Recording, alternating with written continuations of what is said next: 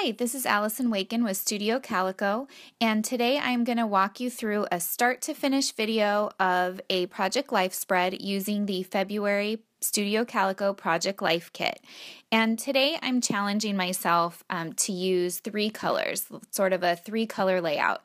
And I'm going to go through the photos that I had picked out to use. Uh, they are from whale watching, so there's a lot of blues, whites, and blacks, and I'm going to throw some yellow in there. So the neutrals I don't necessarily count as a color, but um, so we're going to kind of concentrate on black, white, blue and yellow. So I guess that's four colors, but who's counting?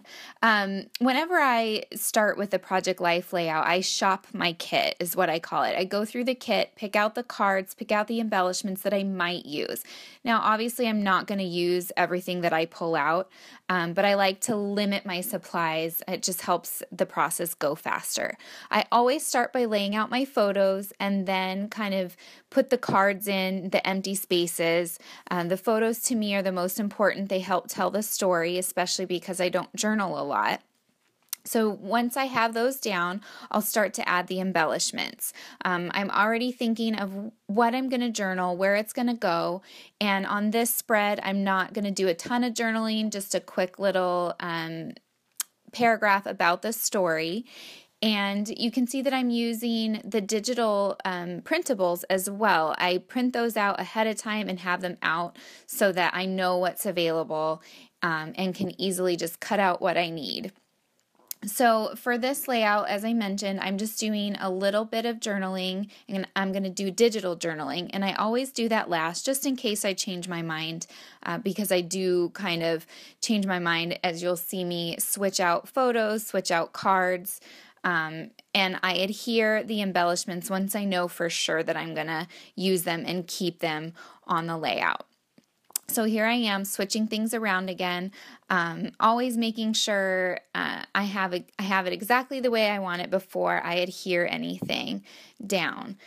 Um, for this layout, as you can see, there's just little pops of yellow. Really, the photos are the majority of the color, and that's how I like to keep it because I do like to let my photos tell the story.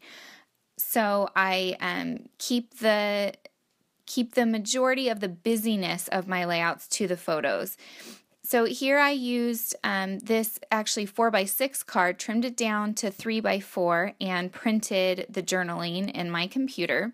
I just measure the open space um, and print it out on a piece of paper, then tape the card to the paper and print it out again.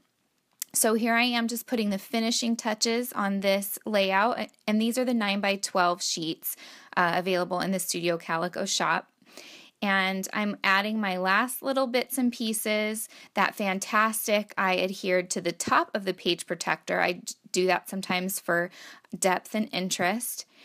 And my layout is done. Pretty simple, um, but it all flows together. And I'll add some extra photos from the trip on the next spread, uh, as well as continuing on with that weekend and that week.